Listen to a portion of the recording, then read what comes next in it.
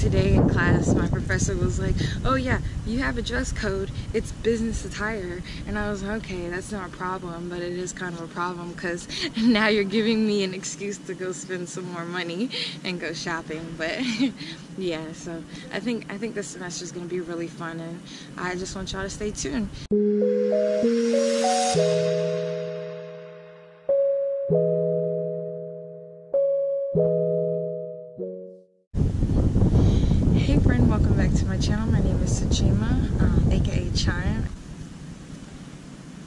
I am sitting in a whole bunch of ants, oh my goodness.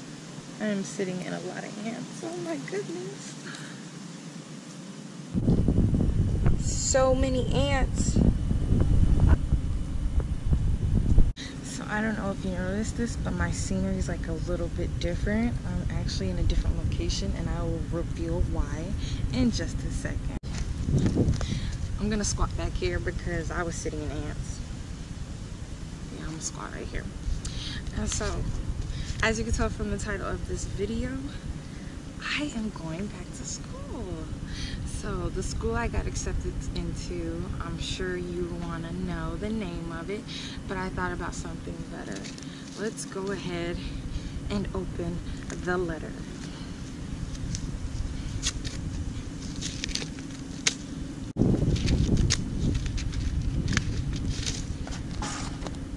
It'd be funny if this was like a, a denial. But I know it's not because I did I did my background research and I know what's up. Okay.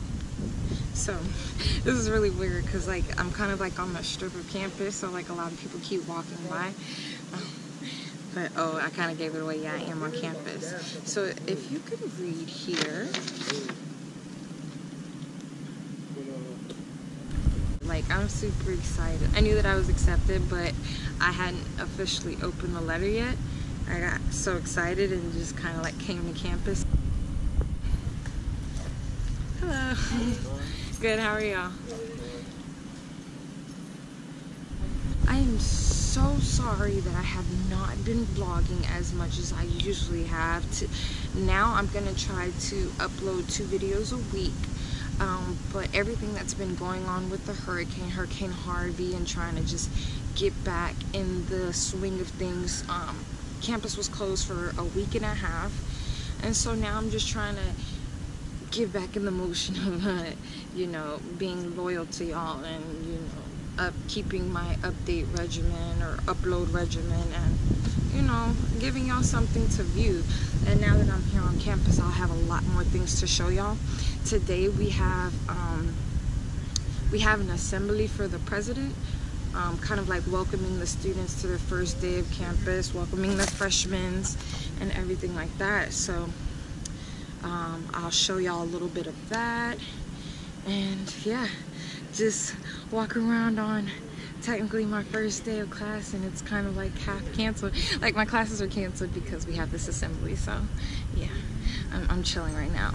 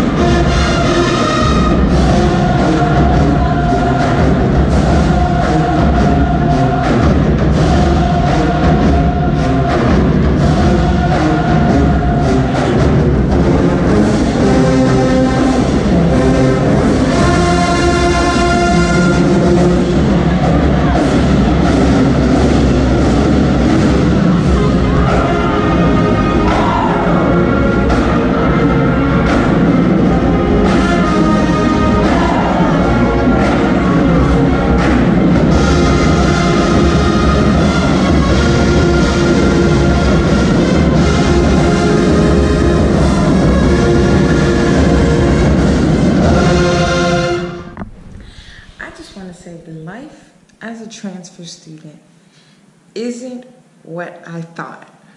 My trials and tribulations, the hoops that I have been jumping through, it's just out of this world. as a transfer student, I kind of thought that life where I left it off at university, because I used to attend Lamar University. You feel me? There it was easy because I had friends to help me acclimate to like the college life. But now it's like I'm here. I don't have any friends, I don't know anybody, and I have to do the whole freshman after the whole freshman experience over again as a transfer. And it sucks because it's like, dude, like where my life was at my earlier school compared to where it is now, it's like I'm a ghost. Like no one knows me. I don't know where anything is. I don't know about any events. For example, today we had an assembly for the um, week of welcome for like the first week of school, just pretty much, you know, helping students, you know, jump jumpstart their drive and ambitions towards their goals and what they're trying to achieve throughout this semester and really this whole year and continue on into their life. There are three things that happen just in that little time span of that assembly, which made me realize that I am not fit to be a transfer student. Like, I think I'm about to quit school. So the first thing that happened was everybody said, go to the baby dome. You know, this is where this assembly is going to take place. And I'm looking like, where is this baby dome? I guess common sense would work itself out and say that the baby dome is going to be the baby dome in the middle of the campus, and therefore um, you should know where it is. So I also used common sense and went ahead and just followed the crowd of people. You know, try to use those things. Problem number one, point eight. Okay, so problem one A. Okay, so I get into the baby dome, right? And I realized, like, if I was at my old school, hmm, what would I be doing right now? Yeah, I would be on my phone. Hey girl, where you at? Yeah, I'm over here on this side. Okay, okay. Let me know when you get here so we can like sit together. Yeah, no. I couldn't do that, okay? I don't have any friends, I don't have any numbers, I don't have any contacts, I don't have anybody to call. So when I walked into the baby dome, okay, I just walked up the stairs and I looked for a seat. Now, the smart thing to do would to be would, would be to find one seat that was, you know, you know, a decent size for me. Like, you know, you find one seat and, and you just sit down. Like it's not that hard. Yeah, I want to make things a lot more complex, which takes me into problem number two. I want to be difficult. I want to go in the baby dome, and instead of finding one chair that's off to itself, I wanted a whole row to myself. I didn't want any chances of anybody asking me anything. So, down way far over there, I see a chair about four seats by themselves. I'm like, okay, yeah, the one at the very end that has my name on it. So I have to scooch through people to get to those four seats. So I'm over here, excuse me, excuse me. Uh, yeah, I want to go over there. Excuse me. So finally, I get to the four seats and I go to the very last one and I sit down. The next thing you know that I hear is like, these people want to come over here, act like they know what they're doing, don't know how things work over here, and just want to sit down and take people's seats. It's like seven guys standing up behind me. I wanted to look, but I didn't want to make eye contact, so I did one of these right here. You know, look from the top corner of your eyes, but you know you really can't see anything because you're too scared to turn around. Yeah, I did one of those looks, okay? There was no one else around me. Like, I sat in the area, like, by myself. But they ended up, like, walking off. And the reason why I knew for a fact that they were uh, talking about me was because four seats down, there was, like, three other gentlemen sitting. And these gentlemen ended up getting up like leaving the section too because I guess their friends weren't sitting with them. And then like what solidified it was that for the fact that they were all wearing jerseys. I just took the football player seats. Like, I'm sorry. if you're watching this, I'm sorry. Like, I didn't know. So this is gonna be 2A. They had this alumni, um, the alumni lady come speak and, you know, tell us about, you know, how it was when she was here and, you know, just, you know, how it feels to be back and everything like that. But one part, several parts of her speech stood out to me, but one part that stood out to me was when she was like, Yeah, about seven years ago, I sat right there in those bleachers in the freshman section. Again, I'm sitting in the wrong section. I'm sitting, I didn't know I was sitting in the freshman section. I walk around campus already and people think that I'm a freshman because on here, this campus is so weird. Like, y'all dress up every single day like y'all are going to a club. Business attires, heels, like club dresses.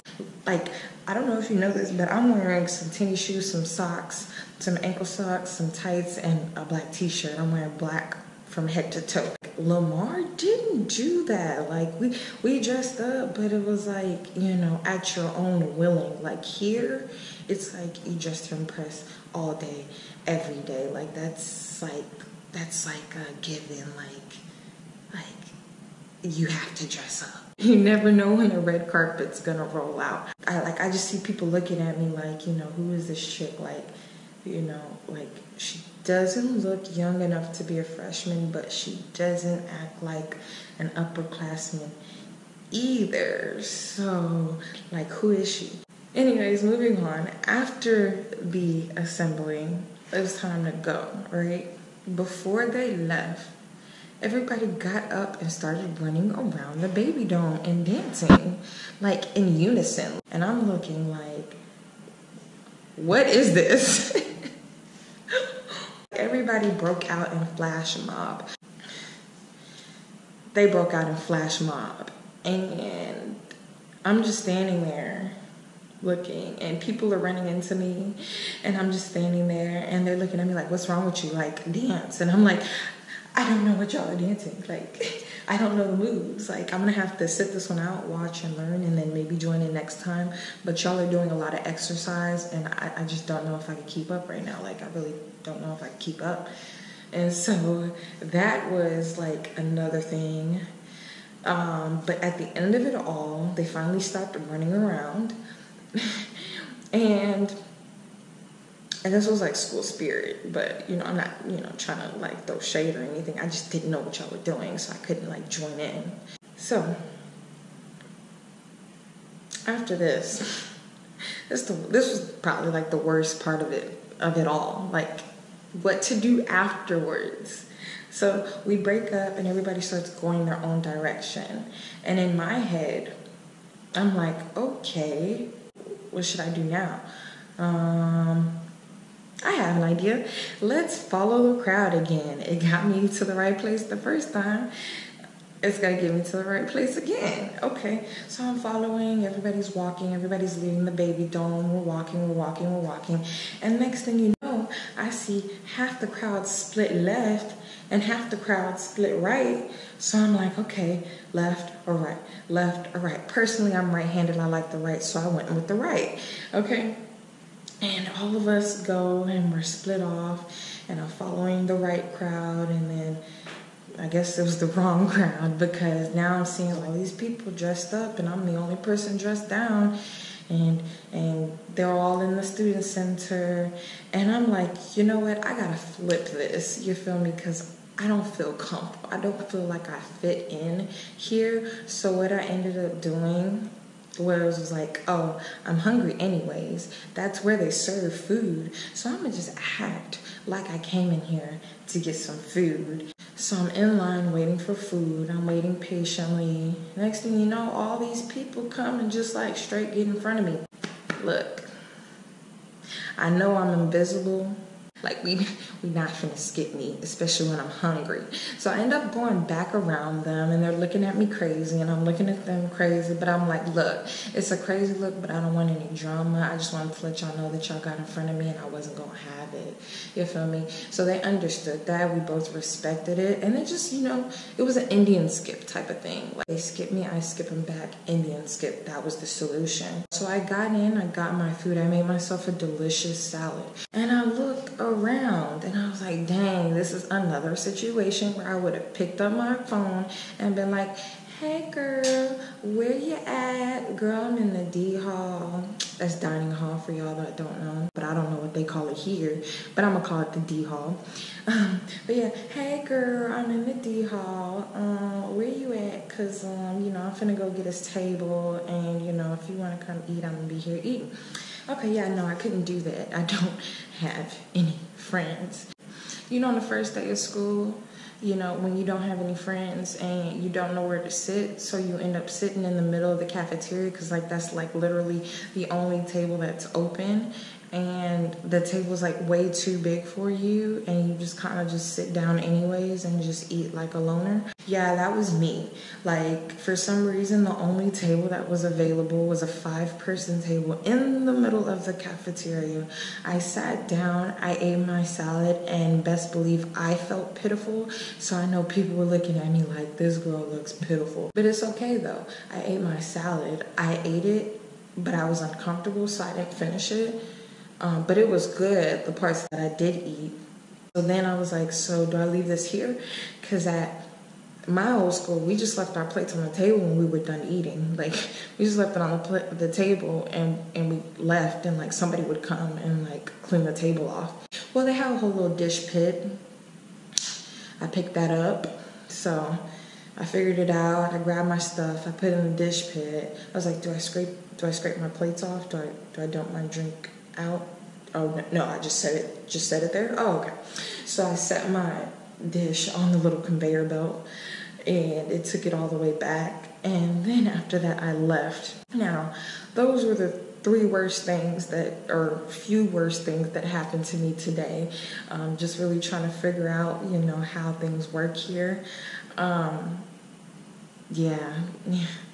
That's really what happened. I want to say that this, my channel is going to take a new direction. I'm just going to show y'all how I grow as a transfer student back to being someone who's no longer a transfer student, but someone who's now a part of the community because, yeah, I, I feel like I, I stick out like a sore thumb. And, um, if you are a transfer student or if you're a new student on any campus, university, high school, middle school, elementary school, I'm gonna tell you the best thing you can ever invest in is some headphones because I tell you, boy, every single day I'm going to be walking to and from class with headphones on just so I don't look like I'm staring into the uh, sky. Like, what more does life have to offer? Um, y'all pray for me and hope that this gets better because mm, this ain't what's up.